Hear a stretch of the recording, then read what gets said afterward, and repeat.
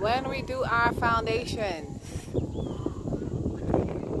and our slab, this is what you see in our beautiful community, Avalon at Friendship South. Quality is a must. So if you're to build your home, at least come, let us build your foundation.